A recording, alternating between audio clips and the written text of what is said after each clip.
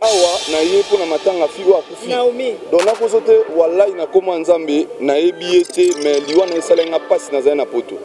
esa eshokai nga makasi mais voilà nakomaki yango na joua na ye te peut-être lem sous de vie namona ye te mais ntango naokaki aza collègue oyo yanga sa mosamo na nga lokola na profite nga nayaki mpo na occasion nayelaki nabaki avant nazonga lobi naleka quand même na se recueillir na corps na ye parce que c'est un collègue mais mpo na ebakata na présente mpe bamecondoléance mais nayebaki te ke ezala lelo na apprendre nango na porte ke ye mpe eh, bakekunda j'ai appris ke bakekunda lelo me basesa condoléance na ye mais so na ye awa na ye vraimen mpona matanga ya sere na biso naomi badira ya papa na bango pare bale babimisi ye bamoni bamoni ye na bapota bamoni donc ondire baetufaki ye ondire parce que bokeba bapisine wana mpe koni makambo ebele banyama mai bako mpe koa na pisine soki motu moko aza mabe akoya mpa na kati ya pisine mpasi basali makambo parce que na afrique du sud ene na afrique du sud eh, namoni mpe garçon moko akufaki na pisine garçon moko akufa na pisine ye kutu alimwaki aomonana te na pisine aomonana te apabimi bakiaci ya kitoko alinga bebi soki makopo ataka bakiaci wana te soki okumbaka alinga bebi soki alikopo okumbaka te ozo comprendre kindoki ekoti makati na théâtre yango na bele nasalaki mbele na bi 2022 oyo bokokufa na bino mm. nazobandela yango mbala na mbala baoyo bozosala baninga mabe oyo bozobokela baninga bamaladi bampese ezosila te bampese 10 fois 7 fois bambasu banini bakomi tina bambasu ya banzoku bambasu ti ezokende kota comédienne moko so ezali mama bango asambela makasi te mbele otoyeba makambo mosusu babwakeli ye mbasu ekota neti kota kota bayokaka bilengi wana Euh, information wana ezalaki une fausse information quand nde tolobaka ba fake news nayebi te effervescence nini ekosala bato ya kolukaka baartiste bakufaka bopubliaka mpo bapage na bino ezwaka impact ezwaka succès ça fait très mal Yandi Mosi akufi te, au contraire, il paraît que aza ko s'améliorer de plus en plus. Munga na ko souhaiter kaka prompt rétablissement na Yandi Mosi. Na releyaki yango na oyo bazolela kuna eza bacomédien mototobebebele te moni naomi akufi na koti ya théâtre ya biso populaire te akendaki makambo mosusu eza théâtre bana ayina bango ebata classique so ezalaki akenda oyo ya na ndeko omari là c'est autre chose mais boloba yango boketeke bato ya ina bato ya classique ok donc botika bokolo bato ya théâtre omituna nakende otika yango likolo ya tombe na ye to nasala nasala ndenge nini donc nde navandi boye je me pose tant de question maintenant na réponse te donc nakomi limité eza ndenge moko na liwa oui toza dérange parce que toza na posa ya naomi mais ce que tosala miracle nini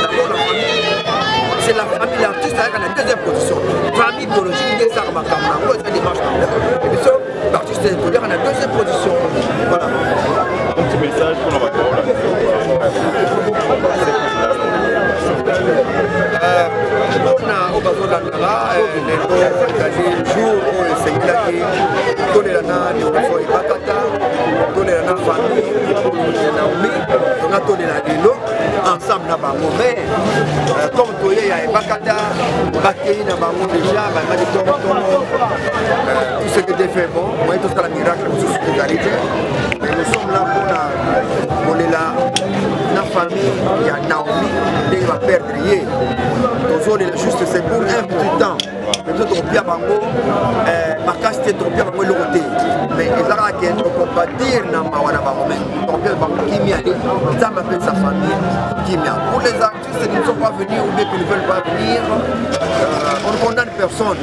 Mais Balbagaka, il banga les films de Ké, Chapeau pour sécurité. Merci. Merci à Céline.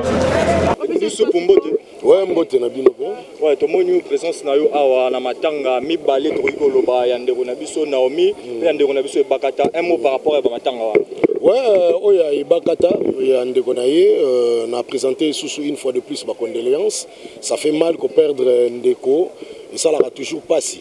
donc euh, na ye mpe retard oyo ebakata babisi ebimaki oui esi ebimi nakutani na yango te nde ya naomi lokola na ebimi te nde nazo assiste mais yango ça fait aussi très mal ko perdre euh, actrice monene neti naomi nde nautaki koloba tout à l'heure euh, eza lokola baoba mwa mokie ezokola Ekweyi. Donc ekweyi et atteindre même pas niveau. Donc ça fait très mal. Euh, papa Doudou Soukou, to assistaki penza na liwa ya ndeko na biso uta kufaki na piscine. Mais eloko eza un peu étrange, liwa ya mutu akufi na piscine abimi na ba pota, ça s'explique comment? Bon, euh, moi je ne suis pas un médecin. Mm -hmm. naza médecin te naza mpe eh, comment on appelle ça bamédecin scientifique te mpo na koyeba akufi ndenge nini bablessure tout ça euh, toyebi te donc eza kaka juste basala fallait basala autopsie bayeba qu'est-ce qui s'est passé au juste donc nayebi te so basalaki autopsie mais bablessure wana nayebi te so bino bomonaki bafoto na yango nayebi te donc balobi yango mais lokola biso mpe tomoni te je ne sais pas bina bandeko mosusu bamoni yango ba déclaration mpe ya famille na ye papa na ye biologique a déclaré que mwana na ye abimi na bapota oui mais cela veut dire donc wana sikoyo esengi il faut basala enquête bamene ba enquête bakende place oyo akufaki bayeba qu'est ce qui s'est passé au juste donc voilà yango wana vraiment qui représentait Naomi pona Lulisu mo Naomi euh, représentait euh, nakoloba nde na bibaoba ya mukie mm. oyo ezokola ya atteindre niveau nanu te oh. mais to perdre yango donc Naomi c'est une très belle actrice une très bonne actrice une très belle actrice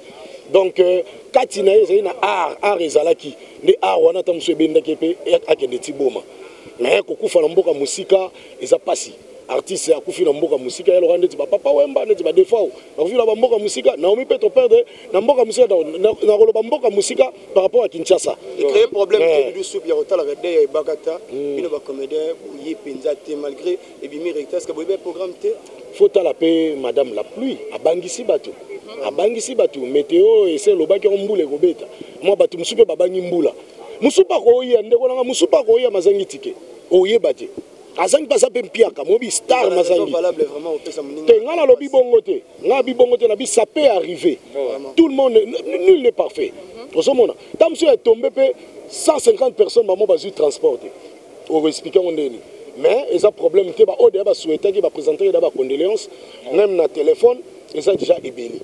donc c'est ça donc voilà papa doudou soukou euh, mm. est-ce que interpellaka bino te ke komona à chaque fois euh, ba comédien boza ko enregistrer ba mort un mois ezoleka te deux mois te toza ko enregistrer ba mort sala eza eza ko interpeller bino te vraiment mais nous sommes tous des mortels mm. ekozala mpe eloo na famille na bino trois personnes bakufi mbala moko mm. bababole bango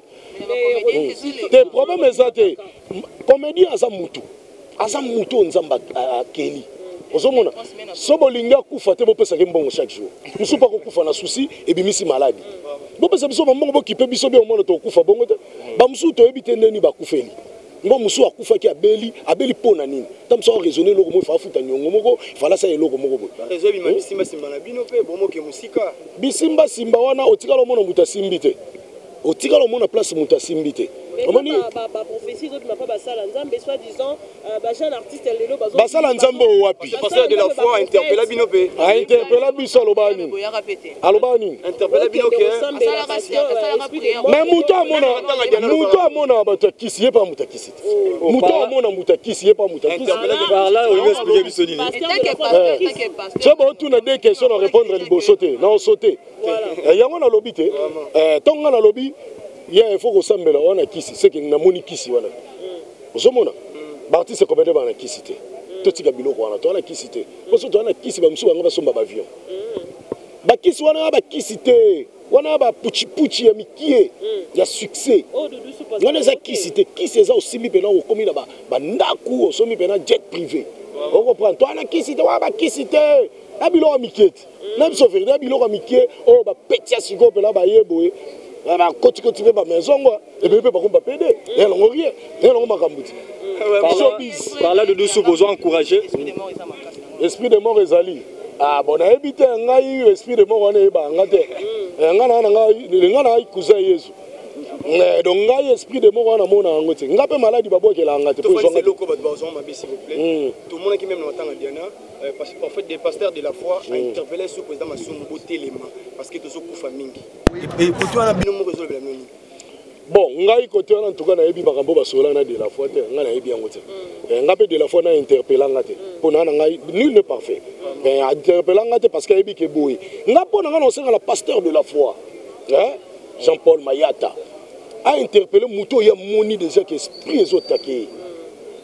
ayebisa neti oyo oyebisa ngo monga bi ah ba artiste bayokaka biso te ata nakoloba na ye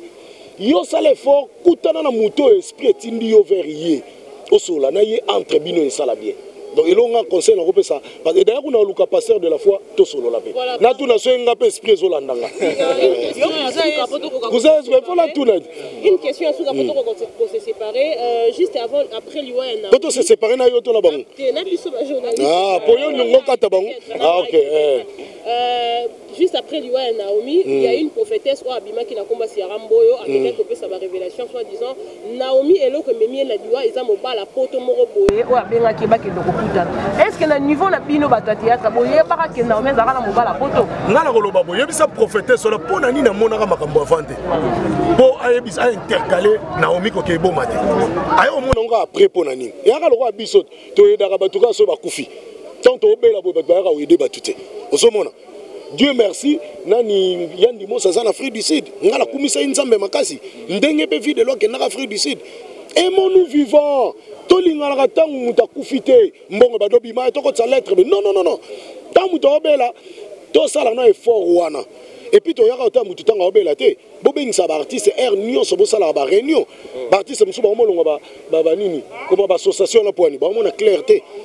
omona baministère bazwaka bambongo na bango wana ya banini koma sokoda biso ozwaka nini tozwa eloko te toyebi te bambongo yango esukaa wapi c'est ça le problème ah. dernière question outa euh, koloba mamba kipede awa mm. nayebi te oencourageaka yango ki lesbien na monde ya théâtre kipede na monde ya théâtre akokomode biso tosa émission ngai na ona oexplike voilà merci beaucoup numéro ya téléphone euh,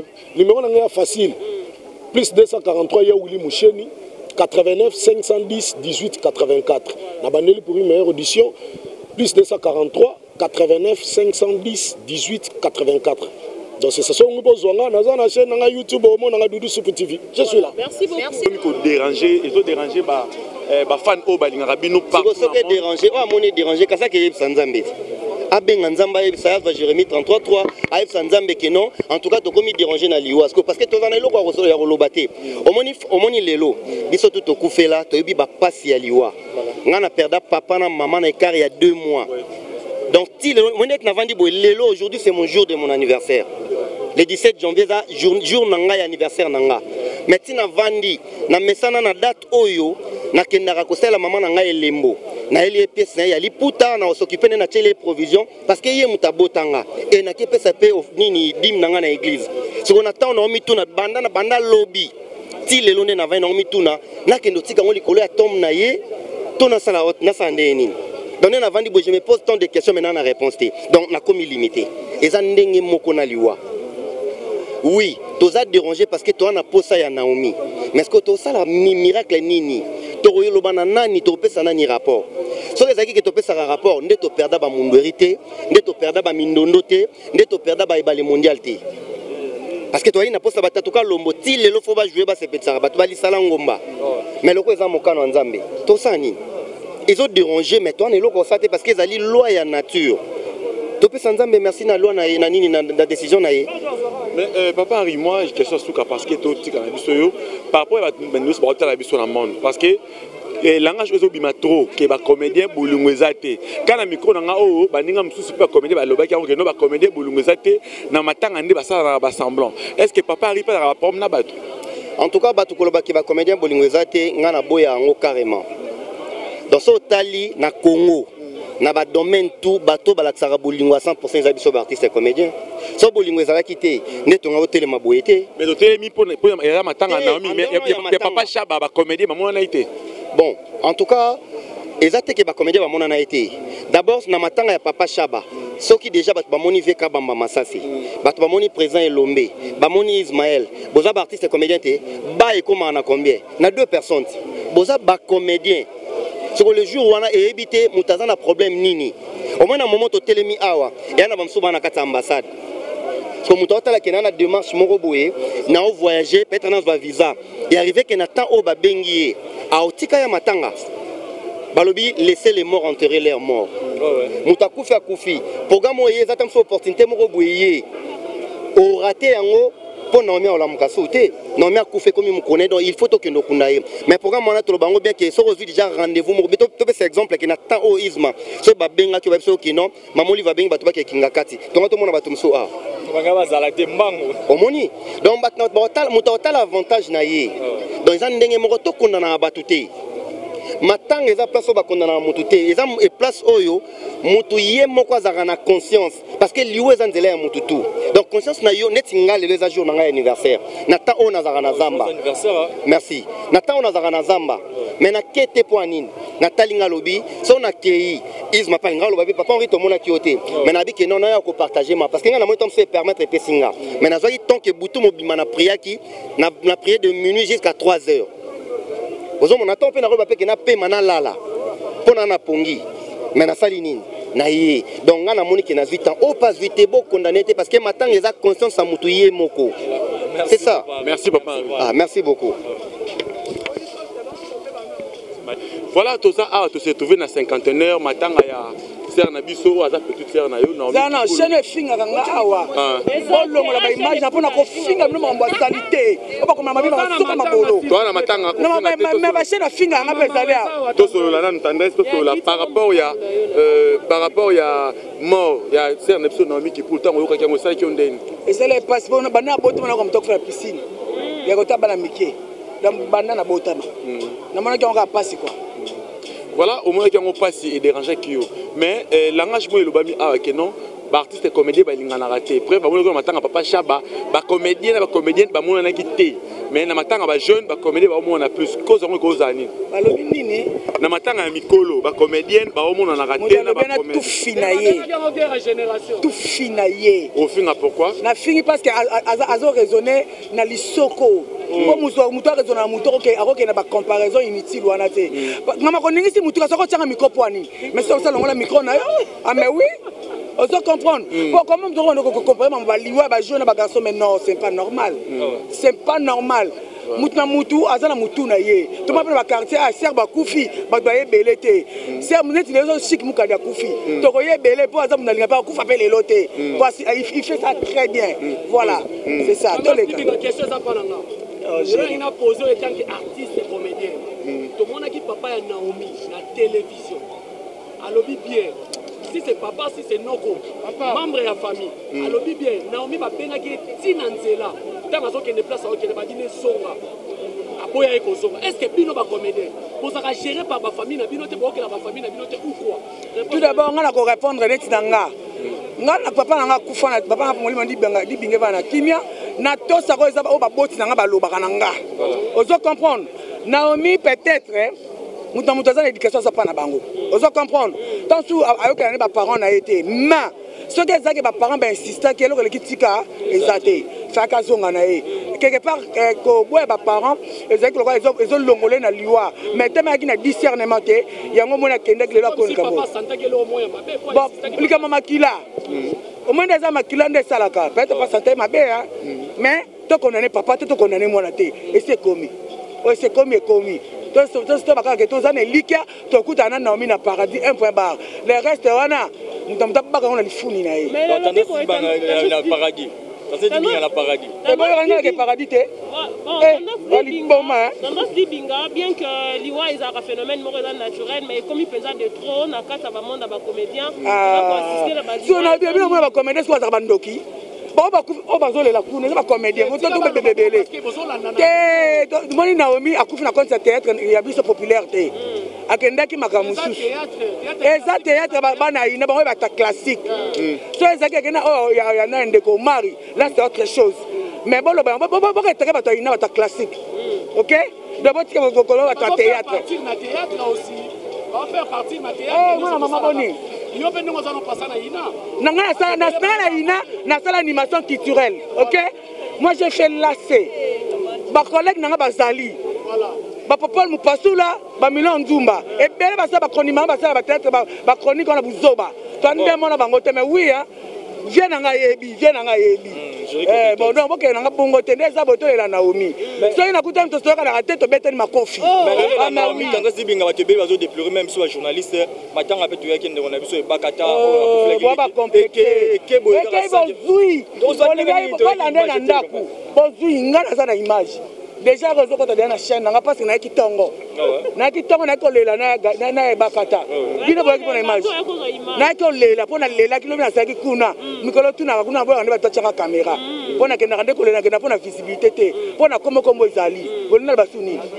bolona bani botika suka ese sokola liloba sikoyo na likambo ya koloba te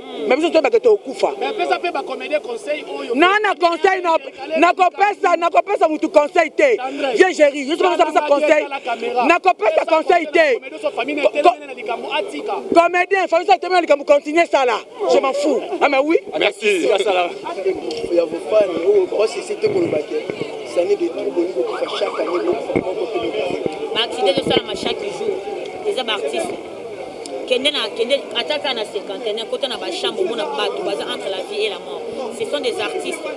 tozomona ebamba ezosama ebele eza kaka nde lokola bayebi ke bato ya maboke bango oyo soki bazolongwa ezala remarquable en disant ke ezali euh, en disant ke ezali euh,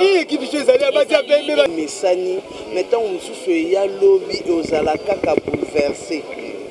Vraiment tout ce que je peux dire à ma sœur ezali que euh, déjà de 1 liwa eza nzela na biso nyonso nyonso ekomaka soki nzambe apermettre te hmm. ekoma te donc ça veut dire que quelque part il y a eu si pas la volonté parfaite de dieu mais la volonté permissive dieu a permis que cela arrive Nzambe oyo abondisaka mitema abondisa mitema oyo etutisami. Ndeko na biso atiki bana, atiki mwasi, atiki bandeko oyo bazalaki koespere na ye. Vraiment maloba na biso ekoka te, maloba na biso ekokoka te soki tokoloba peu importe bamo oyo tokoutilize mpo na kopresente bacondoleance Quand de ces mots ne pourra ko apaiser mitema oyo etutisami mais losambo na biso eza que Nzambe na lola mobondisi ya mitema akoka kobondisa mitema ya libota oyo ezali eprouve lelo. Voilà. Voilà. Mama, par rapport ya euh, Naomi Kipulu Ntango ozwaki message, akendaki na cadre ya musala, mission ya musala, ake kokufa na piscine na Moanda. Euh, message wana d'abord ntango ozwaki yango, b'analyse nini osalaki tant que moko na bino mwana to leki je sais pas Euh, déjà Naomi azalaki mwana classe na nga mm. je l'ai enseigné voilà. euh, na Inas mm. avant kende Inas azali na Inas je l'ai enseigné ezalaki message j'ai eu ce message c'était vers euh, minuit nalalaki parce que azalaki mpe condisciple ya mwana na nga j'ai eu une fille oyo aza na ina baza kotanga na naomi abeleli nga elle a crie maman à minuit na bangi abi c'est quoi oh non maman il paraît que naomi n'est plus ah quelle naomi oh kipulu je dis non c'est pas vrai c'est quoi Donc c'est vraiment bouleversé qui m'a cassé et surtout une jeune fille à fleur d'âge, non. C'est plus que tout, c'est plus que tout. Ça fait très mal, ça fait très très mal. Hier, quand j'ai vu encore euh, ma photo à Naomi, je me suis dit, Seigneur, mais comme epa nzambe tokotuna eloko te il est le maître de temps et des circonstances tokosala nini toyoki yango kaka mais ça fait très mal et puis c'est là où bokolimbisa ngai bino baoyo bolandaka biso oyo toza wana mpo na bino toza mosala mo eza mpasi e oui, oui, oui. euh, feu de, euh, debaba ayembaka abi mosala na nga ndenge moko na soda mm. lelo mbujimai lobi chikapa mm. Donc toi na musala moko eza ya ba risque. C'est vrai les voyages quand ça s'annonce, ça donne de la joie, mais quand ça se concrétise, oye bato que n'avion talaka okoti mapata ozoyeba te okoma to okoma te tala naomi mm. donc voilà tosenga vraiment que tozalaka en parfaite collaboration voilà. nous nous ne pouvons pas exister sans vous de même que bino mpe boza oyo bo encourageaka biso et surtout que dans un pays où euh, l'artiste n'a pas euh, de salaire l'artiste n'a pas un statut euh, juridique donc je dis en tout cas euh, les amateurs de la culture congolaise bokoka koyeba kokomemaka biso mwa mukie mukie parce que tala bariske ya ndenge wana on peut tout dire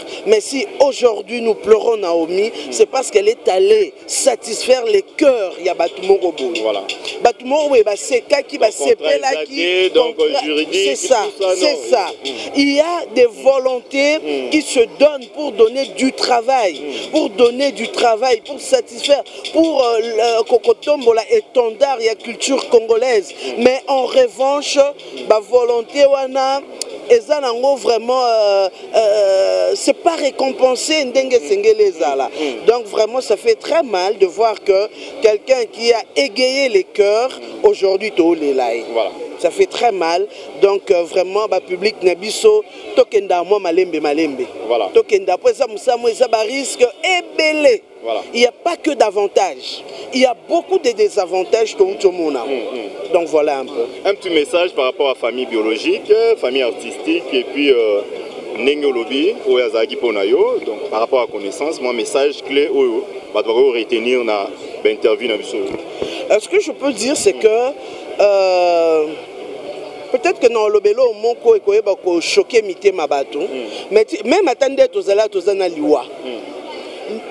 on dit la mort c'est à un pas de la vie l'autre face de la vie c'est la mort donc euh, nous devons kosala mwa ngele ndenge balobaka euh, toyebaka ke à chaque euh, moment na biso il faut tosengaka protection divine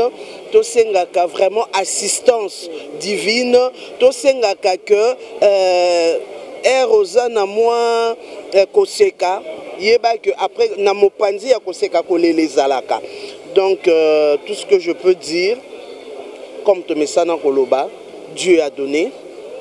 il lui a plu de reprendre toloba nini si ce n'est que se courber devant la volonté divine et que nzambe ye moko apangusa pinzoli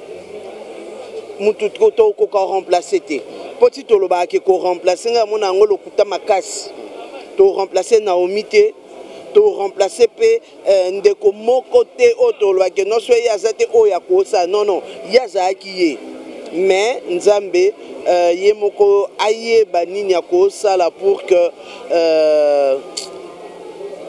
ba ame wana etrouve kimia e biso mpe tokoka kotikala na kimia donc voilà un peu merci beaucoup oyo bozotala biso toza awa na morgue cinquantenaire bisika bonso ezomi bacomédien na bacomédienne toye kolela bandeko batikaki biso tomoni mpe présence ya anse luzolo le bedar fantomas bonjour président bonjour tania mabeti Ouais, merci hein, na yo pe hein, na ainsi que na batu nyoso baye ko assister ba artistes comédiens quoi.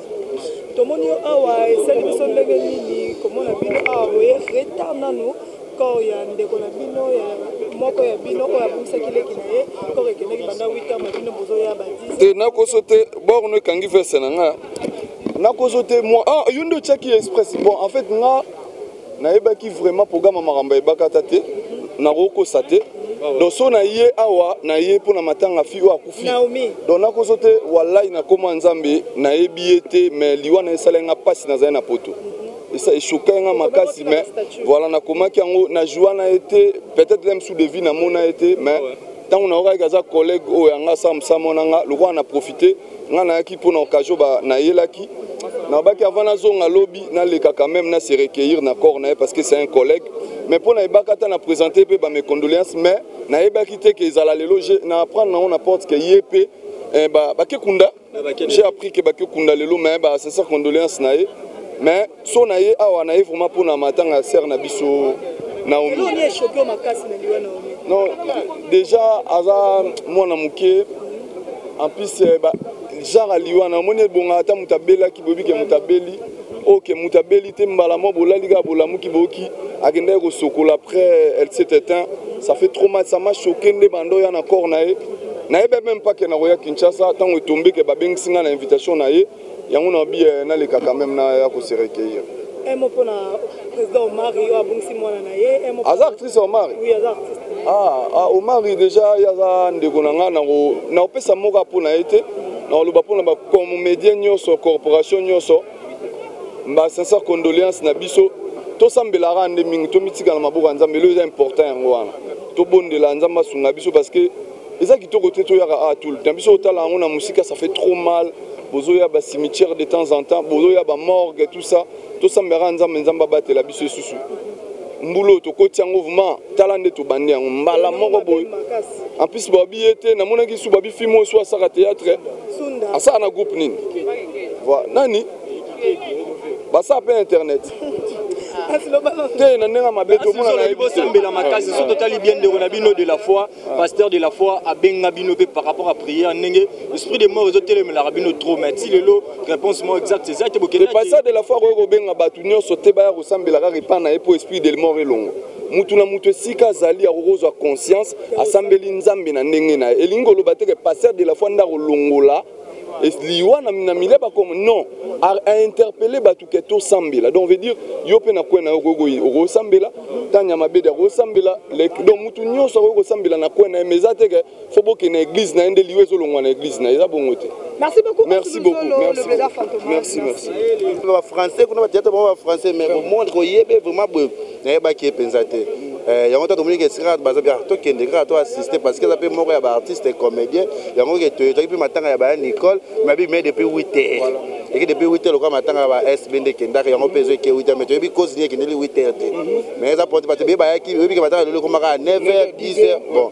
mais mpo na normi vraiment courage mpe passe d'abord na famille na ye oyo baperdre ndeko na bango mwasi tocomprendre ke soki azalaki na mokili ngai asala mambo ya minene mpo bato balandi ye oyo elakisi ke azala kopromete ke succès engaki ya mpe elevation enge ya na vie na ye lokola akufi na ye nzambe kaka moto ayebi ye mpo tokosola mpe mosusu mpe eza boyoki bakufi mosusu bakoza mpe bakoza envie mais tobanga kaka nzambe tosalaka oyo nzambe aopermettre yango nde tokoevolue na vie lekecupanda kotala liwa ya naomi kipulu akufi na liwa moko oyo eza vraiment bato tu baodeklare na yango euh, d'après yo kopesa conseil nini na bandeko tu basalaka oyoke oke deplace na place moko bokosi kenake tournage mizaki tournage te te kokosa nyonso akosaka na vie ya liwa so etangami mokolo oke mokolo etinga na oti paris hmm. etangami nake paris yango nakendaki paris eh, cestadire ke soki eza ya mokolo na yo eza ngongano eza ta na yo okokufa mpe oza mpe ka vie totika kolobaka soki okosi yango ekolanda te vie eza bongo nde tosala nyonso na vie oyo nyonso ekomi bizolo eza nzambe soki nzambe te me nyonso toomona yango te totikaka kokoselaka bakambo ebele ebele eza yango makambo akufi akufi na ye sesa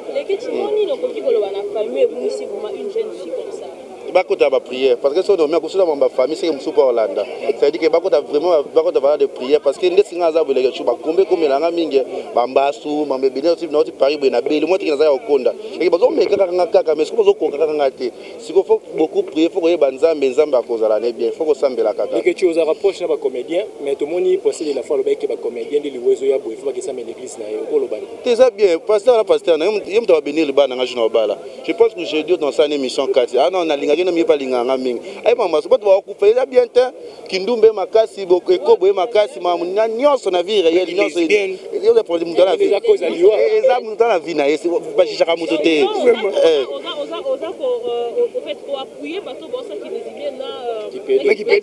yaya soki oteyi moto atika soki sentiment deja ezwi ye eloko wana ekoti ye sikona kopekisa ndenge nini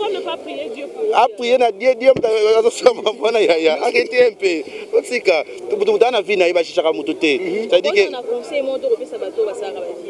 bon mutu mutu na vie ata apesi conseil soki mutu alingi eloko wana alingi yango jour ye moko alemba kotika yango c'est ça c'est ça de la vie bon je vous laisse là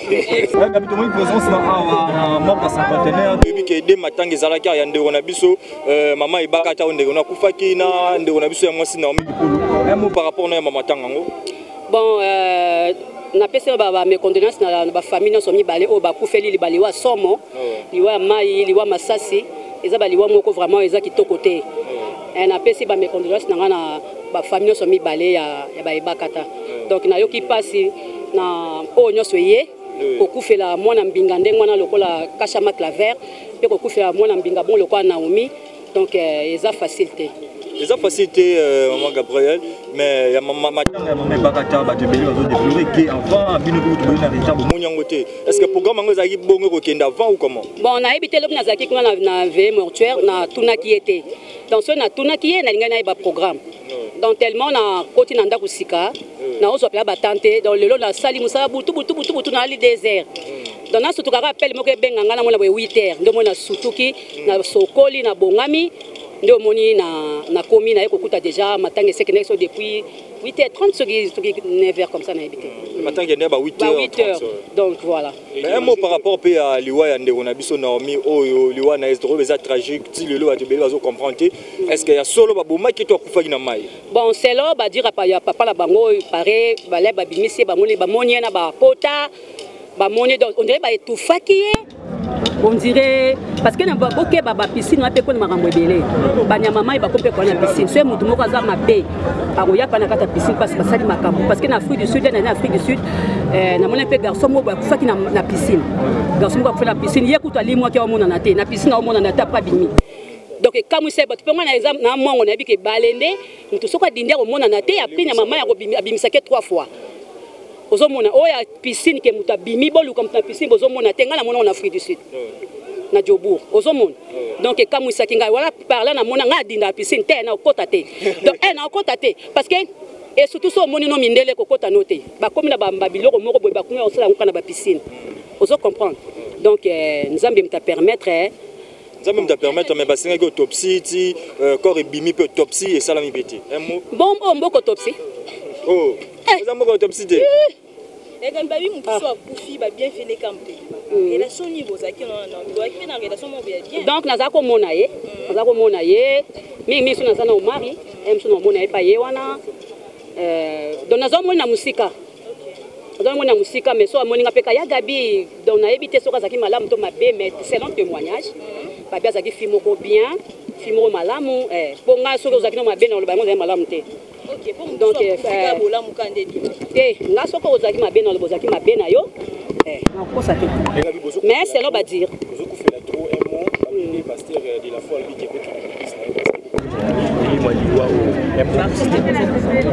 bon euh, kokende kosambela eza mabe te mbela ya prière baboyaka yango te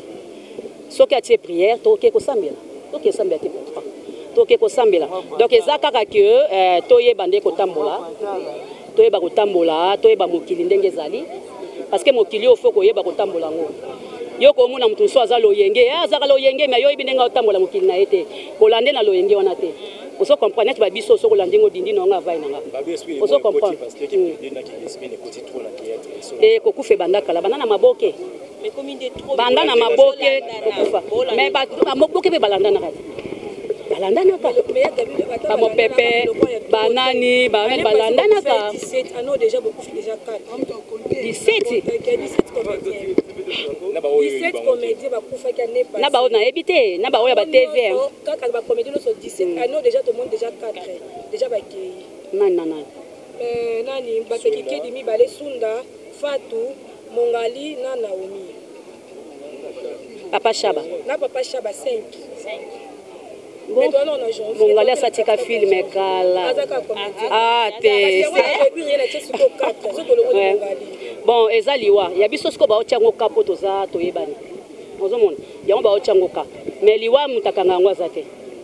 nzambe ekamtaka ngai liwa soki abi keno oyo bozokosa bozwa ye te bozwa ye te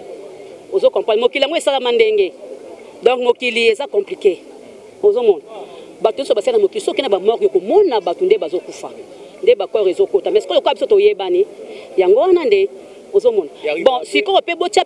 mpe kate kaka keno bakomedali bakomedali ye baosala na mabe eh, bamisusu bakomona eh, motu bakoya kotika mbongo tika tosala boye bakoya kotika mbongo tika tosala boye ozomona donc ekomi ekomi ekoti mwa koteri moko boye ozo comprendre eh, babilo moko ya bien te mais eh, biso bacomédien tozala nde makasi totika banzela pamba pamba totika kosala na mabe ozo comprendre eza bato mosusu baza base kaka mpona kosala baninga mabe aza base kaka mpona kosala motu mabe mso oyo ataka bakiaci ya kitoko alinga abe biso kaka makolo mpo ataka bakiaci wana te soki okumbaka alinga abe biso kaka likolo mpo okumbaka te ozo comprendre kindoki ekoti makati na théâtre yango nga na bele nasalaki mbele na bif 2022 oyo bokokufa na bino mm. nazobandela yango mbala na mbala baoyo bozosala baninga mabe oyo bozobokela baninga bamalade bampese ezosila te bampese 10 fois 7 fois bambasu banini bakomi ntina bambasu ya banzoku bambasu ti ezokende kota comédienne moko so ezali mama bango asambelaka makasi te mbele yo tolba makambo mosusu babwakeli ye mbasu ekota neti kota kota bayokaka bilengi wana oui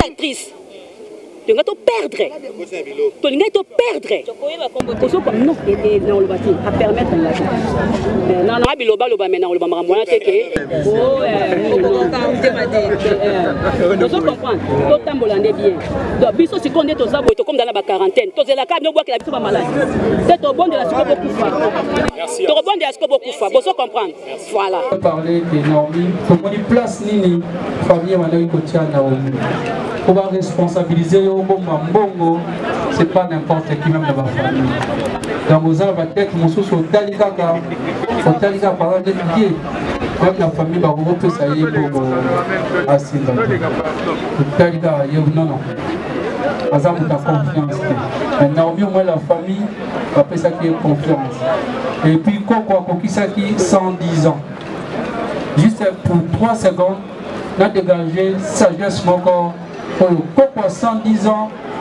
azo réfléchir kitoko ntango tokomi epai ba naomi na ipn nalobi na koko parce que koko parle ya kikongo nalobi nini ya kikongo sikoyo baninga naomi baye bazokende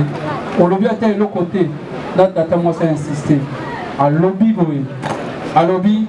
ata natuni nalobi na bango ata natuni bango motuna moto akozongisela nga réponse akozala te donc je préfère me taire là c'est quelle sagesse donc c'était pour nous dire que ata alobi ekozala naomi te moto akorépondre parce qu'elle n'est plus ata apose biso question to répondre te parce que tozalaki na mwanda te voilà niveau ya sagesse koko ya 110 ans azobimisa de loin lorsque iska azali ezalaki jour anniversaire na ye mais nakomi atikaki biso de loin bien qu'elle n'est plus en vie mais nous nous disons que comme les artistes ne meurent jamais biso bandeko na ya naomi baartiste To souhaiter ye joyeux anniversaire Coco. Naomi voulait être là, voulait organiser cette cérémonie anniversaire pour te rendre hommage. Naomi aza lisusu te physiquement na biso. Biso bandeko ya Naomi, esika ozali Coco, même tokoorganize te, mais tobeleli yo na mosika Nzambe apakisela osu mikolo. Joyeux anniversaire na Coco na biso. Nous passons pour le témoignage de nos amis voilà nous appelons monsieur romain monsieur romain de venir pour euh, dire son témoignage romain est un enseignant Romain a fait sa vie dans Alina, des aînés, témoins de la sorte pauvre. Nous appelons maintenant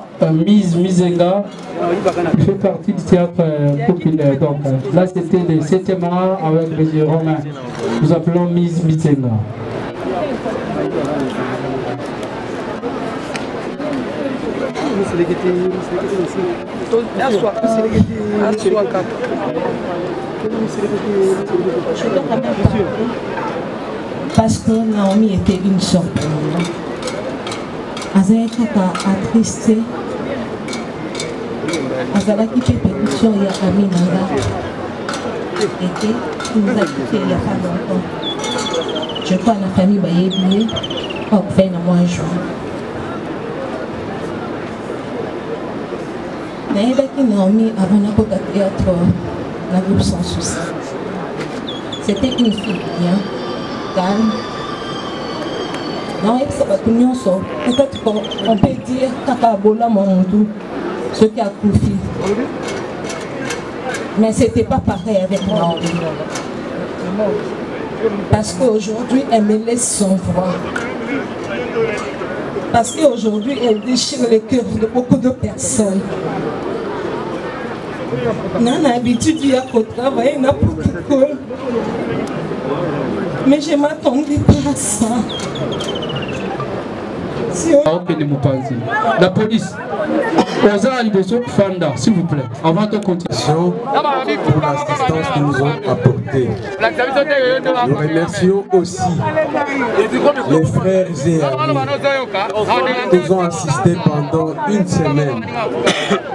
ils ont passé la nuit dehors avec nous.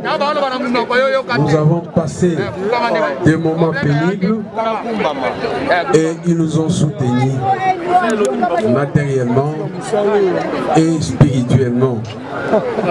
Nous remercions les amis des églises qui sont venus nous réconforter parce que nous étions vraiment abattus. Quand un événement comme ça vous arrive, toutes les idées tarot de la tête. Mais les églises sont venues, les pasteurs, les mamans, pour nous encourager. Nous leur disons merci. Merci une fois de plus au groupe Vita Vie pour leur soutien. Nous pensons qu'ils vont continuer à nous soutenir dans les prières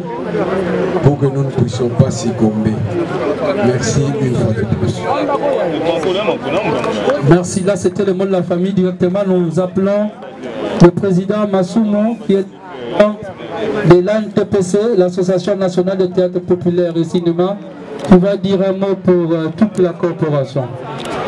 Le président Massoumo, vous avez la parole.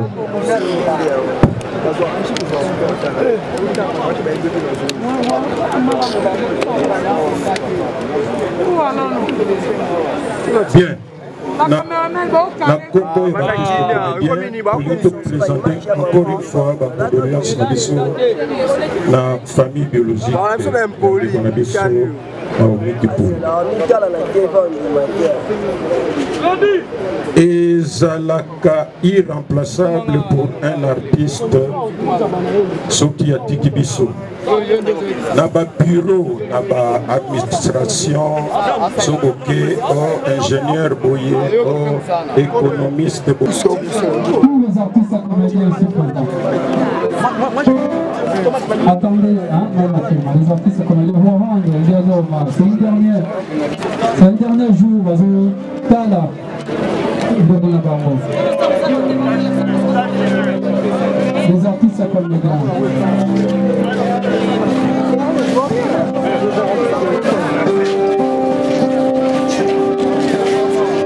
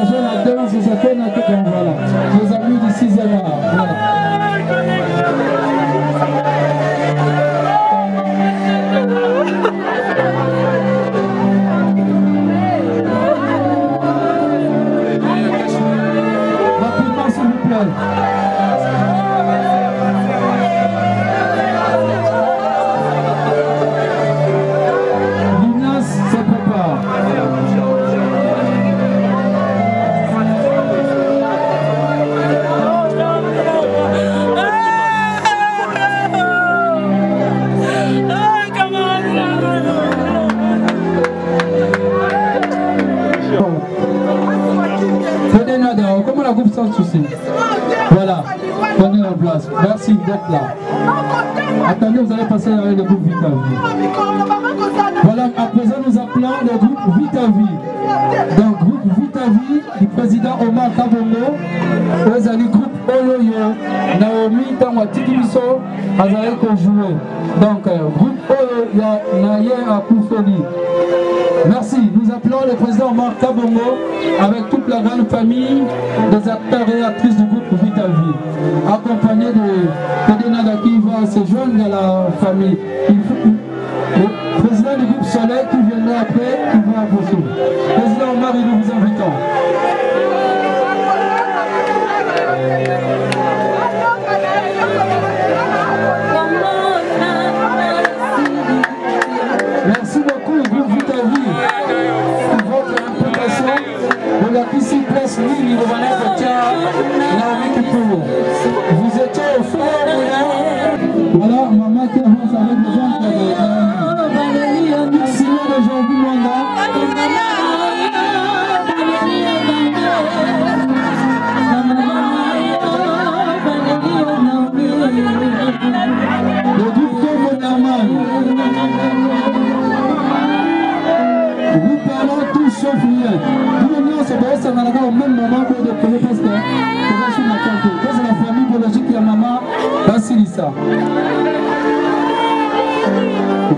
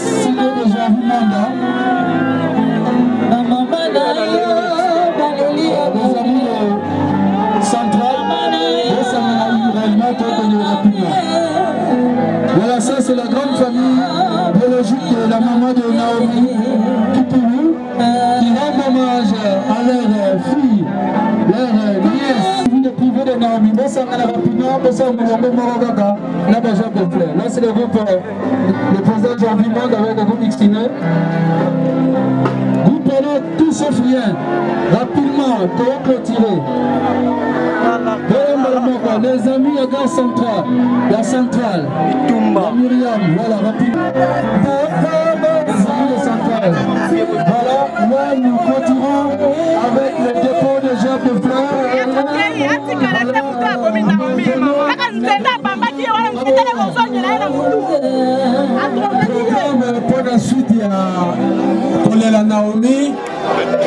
awa tozolongwa toke simetiere na nsele kuna soki tokundi mwana baninga oyo oh. tolingi kobondela mpo na kotika olon voyage na maboko ya nzambe nzambe tata na biso ndenge tozali koloba ntango naomi ozwi naomi tika nkombo na yo ekumisama maloba na yo olobi ete moto azali putulu na kozonga na putulu na ntango oyo toza kolongwa awa mpo nakenda kotika nzoto ya ndeko na biso na mabele bisika yango euti nzambe otambola na biso elongo oyo nyonso ekoki kozala na biso na kokende mpe na kozonga ete eloko moko te ya mabe ekoka koyela biso totiki nyonso kati na maboko na yo nzambe na nkombo na yesu kristo amen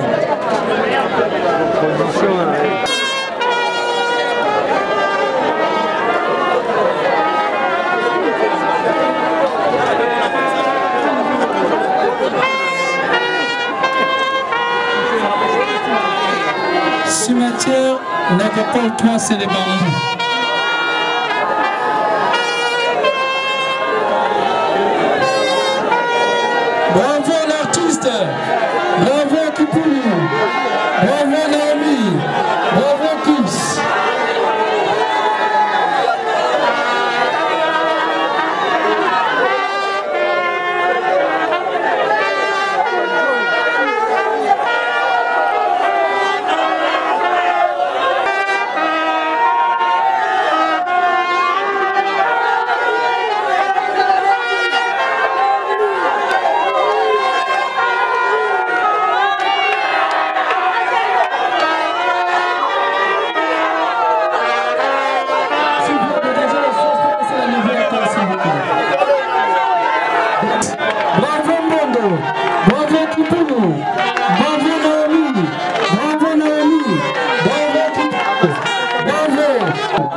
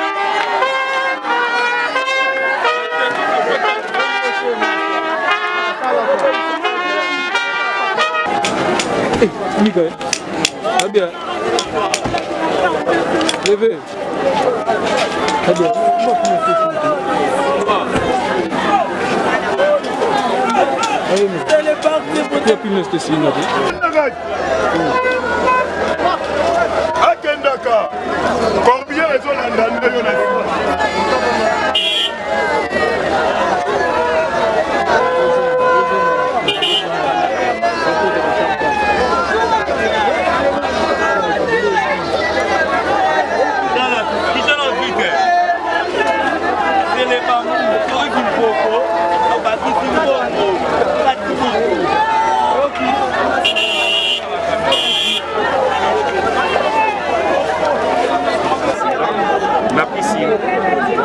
donc euh, nzambe apesaka nzambe azwi eza na oka te baartiste kaka bakufa to abebele ezalaka ndenge wana on est tellement nombreux évidemment que y aura toujours baoyo bakotika biso baoyo mosusu bakobotama voilà euh, toyei kopartage mawa wana en tant qu'artiste naye mpe na partage mawa wana na bandeko mosusu baza kolela mobili voilà merci beaucoup vraiment un mot de à la famille oyo ebungisi jeune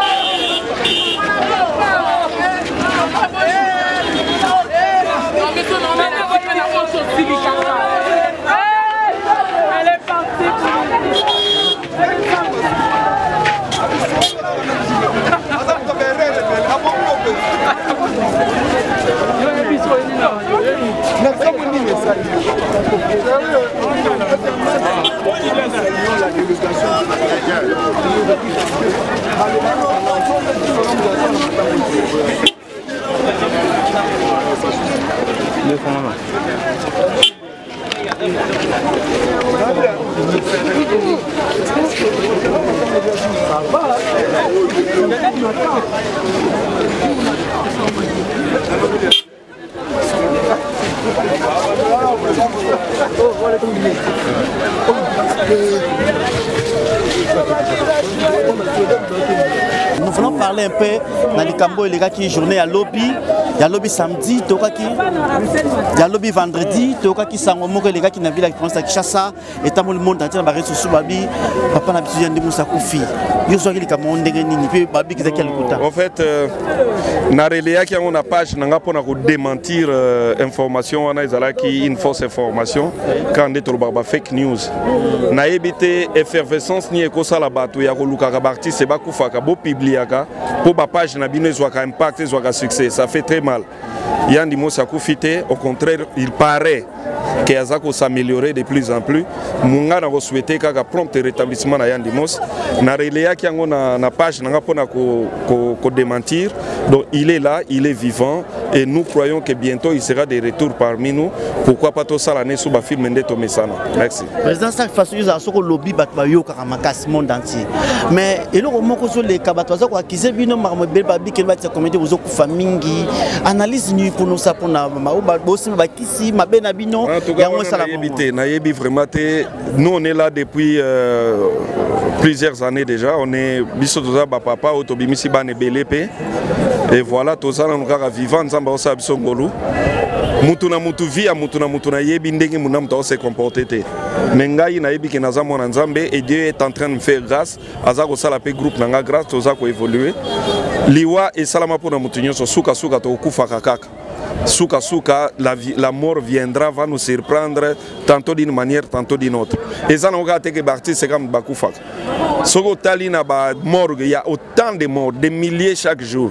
Peut-être na ba milliers wana, il y a des jours où il n'y a pas un artiste qui est mort. Voilà, donc ça que artistes, c'est nous sommes de entre guillemets des stars. Yango wana liwa ya artiste esalaka eningisaka mwa mboka. Mais mutu batu bakufaka na ba domaine nyonso na ba catégorie nyonso. Voilà. Mais demi toko na 2022 yo tozwa kuna passe ba voix chez les Kaibele. Bonjour. Tozela nini mpo na 2022 na groupe na Sina. 2022 ba biloko eze belé ya bien. Baza batu baza la scotcher na Sina que TV na YouTube, baza la scotcher na Sina que TV ou ya télévision sur le bouquet Star Time. bazala scotché na ba page euh, nyonso facebook euh, na tiktok on est vraiment présent on, a, on est vraiment dans l'actualité tantôt dans nos films tantôt dans ce qui est euh, numérique euh, voilà on est lelo tokomi ba grand influenceur oyo tozoloba eza kozala toujours euh, kopanzana mokili mobimba on est là bafane na biso bazela babiloko ya bien ezoya ebele voilà Bonne année à tout le monde. Bonne année à tout le monde. Bonne année euh, euh, à mes enfants. Bonne année à, à, à, ma femme. Bonne année à tout le monde. On est ensemble, il n'y a pas de souci. Très bien. Merci beaucoup. Ah, ah, na, na Micho, babi trio yo. Euh, papa, papa, tika caméra na. Naye pas na yo te. Oh, oh te. Na caméra te, pas ko ta conflictuel. Te. Yo linga caméra te. Caméra na nga. Oh, mais non, yo zipi caméra na nga. Na kasi yo ndom to benga na nga. Hmm? Gabriel na kamera te parce que da conflictuel. Na to na régime ah ya zaki mine na dimne ah. Ozangi sanga 500 dollars na linga raté. Mais na moni ozo cotiser mo ozo cotiser. Oko na moni. Ya ebaka tati. Oh. Euh. Yo. na ebaka ta eh. mais yo osali bemission moko namonaki awa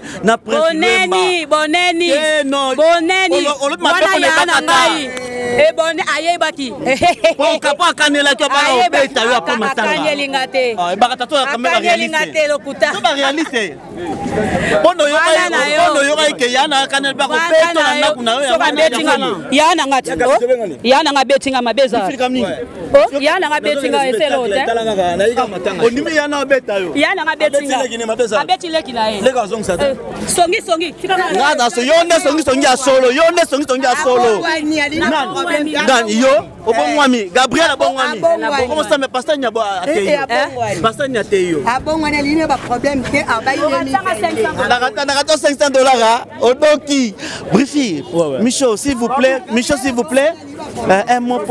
mpo na matanga oyo toye eh, bocomprendre bayete komede so bakutani ezalaka boye balingana makasi miso s'il vous plaît un mot par rapport ya likambo ekwelaki biso journée ya lobi vendredi ba etamboli papa na biso ya ndimosi akufi nzoka ezalaki nango fake news oyo oh, oyo olandi te oza informe te moto akosela makambo wana akufi eh. oyo akosela yandi moso makambo akufi oza informe te moto oyo akosaki ke yandi moso akufi akufi eh, ya solo ah parce que yo olingi oboma moto nzambe asali ke yakufa oh. yandi moso soki akufi nzira yo moto obokola bana na ye koma moto akokozwa courage ya komonte scène moko boocreye olobake yandi moso akufi yano nakufa non non non ce n'est pas bon oh. kibomoto se ekomi kolongwa na vie na biso bato seke nayebi te ozalaki nde boyaske ozalaki na relation moko na naomi non naomi aza leki na biso collègue na biso sere na biso relation pas comme tel nanu tofanda na ye te nanu tozwa na ye te me na ye lokola artiste oyo abungisi ndeko na ye artiste collègue yango epuse ngai na ya mais relation pas comme tel non Donc, Michaud, voilà. Michaud Zobo. Mais, non, bon, ça, euh, pourquoi Ouais. Michaud Linga Boité, hein, varié pas mal. Hein boma moto boma moto boma moto aye azala bongo asala yango ya solo te aza artiste comédie faut comprendre mais chose que ozalaki na barelation proche to peut-être euh, lointaine na naomi